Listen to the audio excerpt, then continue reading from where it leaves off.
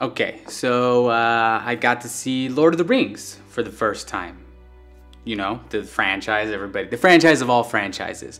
Uh, When it comes to world building, you you gotta give them credit, cause like, wow, it was basically, you know what it reminded me of? It was like if you ever read the books, um, you ever played the games, not really watched the show, but like if you've ever played Witcher 3, you would understand like world building. 100% if they made a Lord of the Rings game like this, it would be epic because just how much lore is in it, which you can appreciate. I love that. Um, okay, so Frodo, he has to, he has his ring and it's poisoning him and it's corrupting his ass. Cool.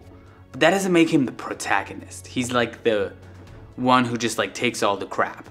Sam is the one who's like, yo, I'm gonna do everything. So like you just sit there and have a good time and then like watch me save the day and become more badass as I go through while you just continue to suck throughout. And I was like, okay. So now that we're on the same page. Sam's great, Frodo. Ooh. It is very rare for you to find a film that loves itself as much as Lord of the Rings loves itself. And like that's a testament. It's not a negative. I know a lot of times you can see like the film is self-indulgent. Yeah, this this series is self-indulgent, and I think we could use a little bit more of that, cause they just whew, knocked it out of the park when it comes to just like everybody caring.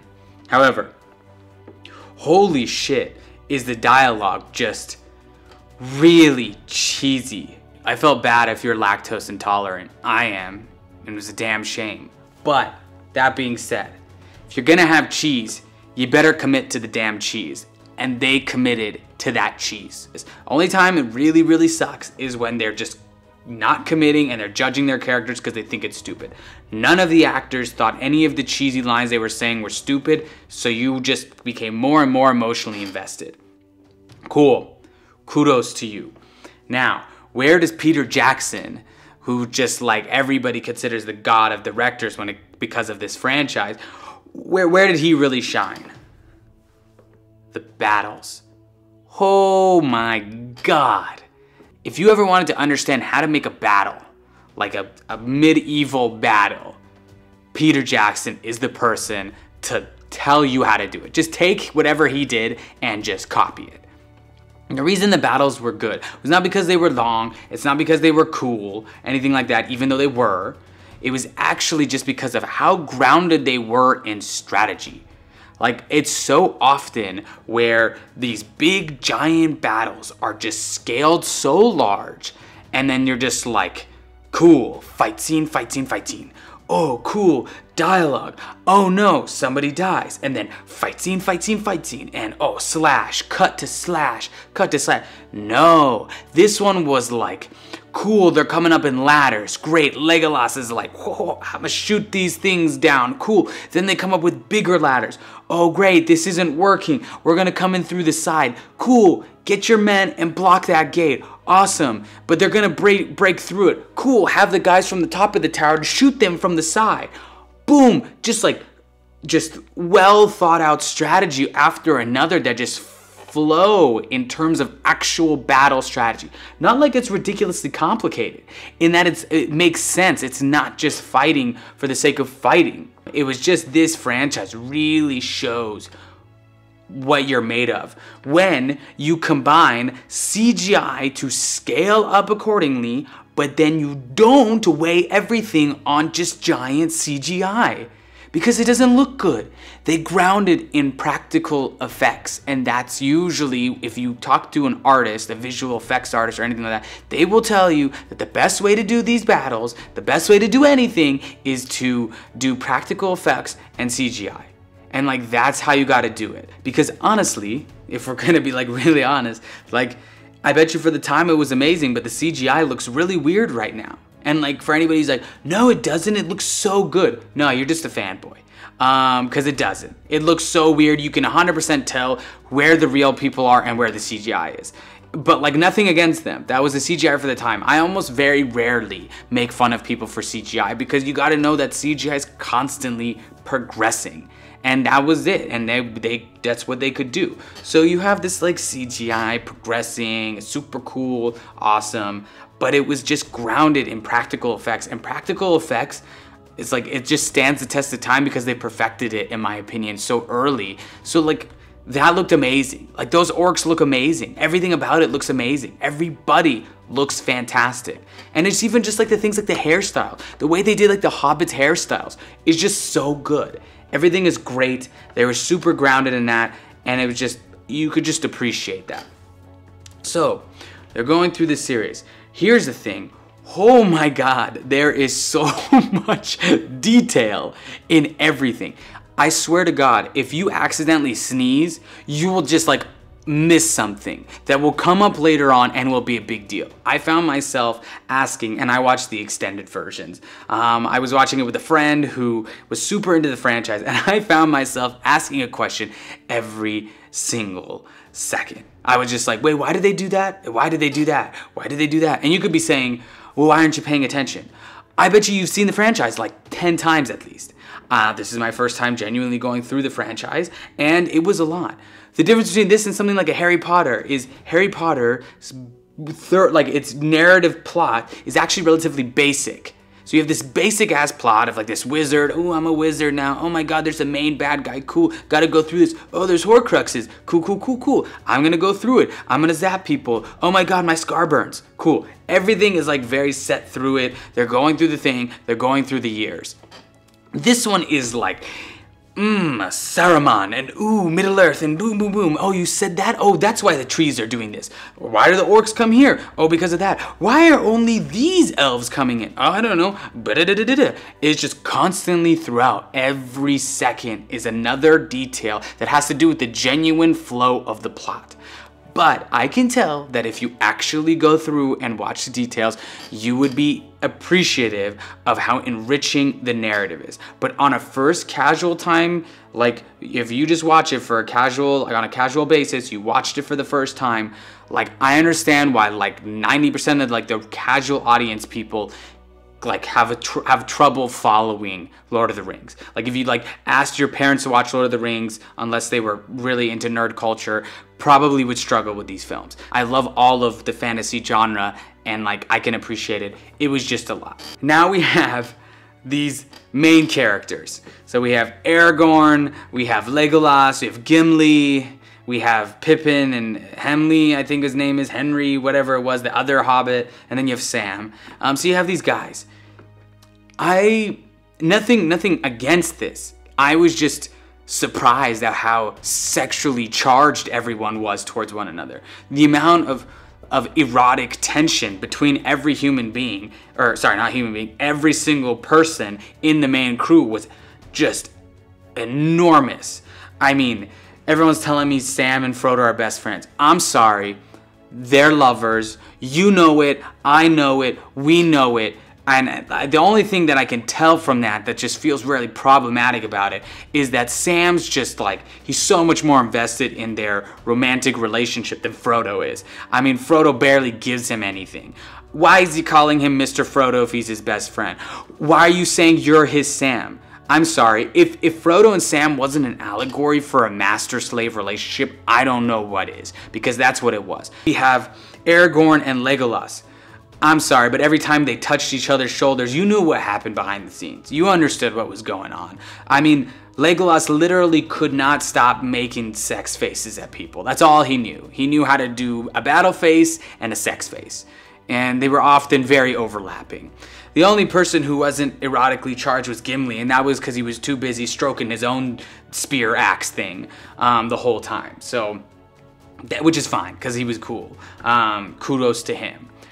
So we got that. Oh yeah, and then Aragorn, he just like, look in my beautiful eyes while I look into your soul and we love each other in a bonding way. So there was that. It was a lot of just, mmm, mmm.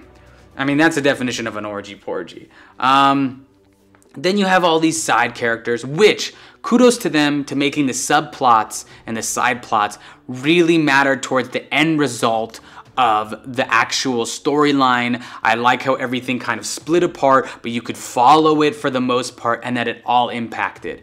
That was great. It's the exact opposite of what happened in The Last Jedi with the whole Finn Rose thing, which literally, if you took it out, it wouldn't have mattered. That's the exact opposite of what happened, so that's cool. However, you have the other two hobbits, especially just Pippin. Man, if you didn't want to punch Pippin in the face, I seriously judge you as a human being. Because Pippin just. Pippin needed a good smack. Pippin didn't get as much crap as he should have in that thing. I know that whole like him holding the orb thing and him getting tortured was pretty fun to watch, but man, Pippin just kept making dumb decisions throughout. Speaking of dumb decisions, why was the main character Sam instead of Frodo? I'm not even hating the fact that Sam had to do everything and Frodo was poisoned and corrupted the whole time. I'm saying that if you flip the two, Sam would have been just as corrupted, but Frodo literally would not have been able to handle crap. Frodo was too trusting. He literally kept making bad choice after bad choice, and he couldn't he couldn't do anything. He just kept getting captured and doing wrong things, and Sam kept having to save me. There were literally lines where it's just, Sam, Sam, help me. Sam, help me. Why don't you help yourself? Why don't you grow as a character? Why don't you just not just get corrupted the whole time and kind of just have a character arc that makes me want to like you as a person? So there was that. So if they were flipped, Sam would have done the same thing and Frodo would have sucked and they wouldn't have been able to do that. Now, um, what is it about the, the thing with the main characters that I didn't enjoy as much? Um, it was the fact that during the battle, I never once feared for them. I knew they weren't gonna die, but maybe they could have. Who knows? Main characters die, but it wasn't that. Literally, no one ever stood a chance. It there was there was no nobody was swinging at them that they could kill them. There were no cuts really being made. It was just Gimli going like this with his axe, using it like a goddamn shake weight, and basically just succeeding the whole time. Legolas had infinite arrows. I don't know if that was ever explained, but man, did he have infinite arrows. And then you had Aragorn, who's just like constantly being, ooh, my hair through the wind while I slash really dopely. Cool, why don't you have any like parts where they almost die? Now, again, now as we're getting to side characters, Boromir, whatever. Okay, so you got Ned Stark over here, um, doing what he does best, which is dying after doing stupid shit. Cool, Ned Stark man, I feel bad for that actor. But he gets to play these cool things. So you got Ned Stark over there doing what he does best. Then you got Faramir, who's like the I want my dad to love me, but my dad doesn't love me. You have Eowyn, who's like I don't even know what her point was, but I wasn't that satisfied when she like killed the dude and had to be killed by a woman or something like that. I, I don't know. It was like I wasn't feeling it. Maybe I gotta watch it again. I kind of forgot Gandalf because he was just too epic for his own good. I mean, You Shall Not Pass definitely holds up. I, I was like, when he said that and I knew the line was coming, I immediately was like, yeah, this is awesome. When he was fighting the Balrog, was super into it. I think it was Balrog. That whole thing was awesome. That whole storyline was great. Him and Saruman was great. That whole thing was awesome. Then you have Gollum over here, who's just like, I'm so glad this happened just because Andy Serkis is probably like a genius that and he's not underappreciated. He's like the Lin Manuel Lin Lin Manuel Ferreira. What, what, what's his name? Lin Lin, whatever his name is, the Hamilton guy. I, I don't know why I forgot his name. The guy who was kind of underappreciated and then he just started being really successful. Now everybody's obsessed with him. That's what happened to Andy Serkis, where he just kind of realized he was a genius and then it was like, boom, I'm down. I'm so in. I'm I'm all in on this person. So Gollum was great. I love this backstory. I love this story. I love what he was doing.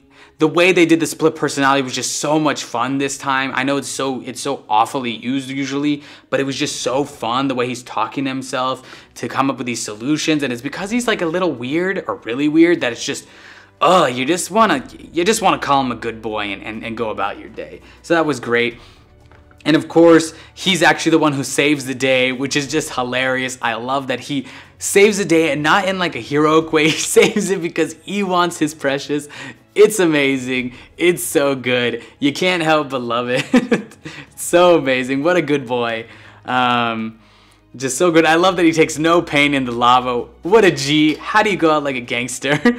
also, when it comes to side characters, my favorite were by far, other than Gollum, the trees my god, everything about him. I know Gimli's voice, uh, Gimli's actor does that voice for the main tree. The trees were great.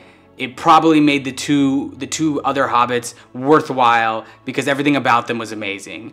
Them trying to figure out if they're actually hobbits, their entry into the battle, even them like figuring out their friends were burned down just like uh, they probably had one of the best if not the best subplots so kudos to them to making me care about trees um, It was amazing. It was a better advertisement for climate change than anything else I've ever seen. Something I gotta say though, even though some of the dialogue was a little much, I gotta give them credit.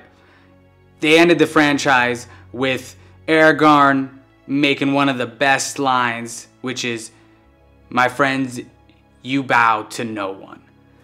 It was a pretty heavy handed line, but man, did it land. And it really, it really sold what the franchise was about and the whole arc of which they were going for.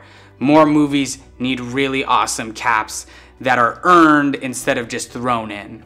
It was earned, it was amazing, it was beautiful. Kudos to them. Because just, wow. God, I gotta watch it again.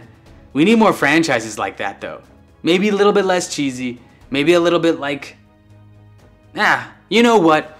I'm gonna take that back. We don't get enough cheesiness in this world. If you're gonna go cheesy, make the rest of it amazing so the cheesiness feels great. If you can make a scene like Frodo waking up in the morning and looking like like Jesus Christ himself, and all of the little hobbits coming and playing on his bed, and Gandalf smiling like that uncle that you don't want to invite to your daughter's birthday party. You have all the other guys coming in smiling, then you got Sam, and the moment Sam comes in, it's like, ugh, all of that, just all of their adventure coming back to hit them in that, that erotic slap in the face that just you know gets them charged up, and it's just amazing. If you can make that scene work, you know you did well as a franchise because wow, was that a scene. so that's my take on the franchise. I guess I'm gonna have to watch it again. Poor me. Guess I'm gonna have to have some fun. Also, Orlando Bloom shooting arrows. It's just, uh, why is that everything we needed in this world?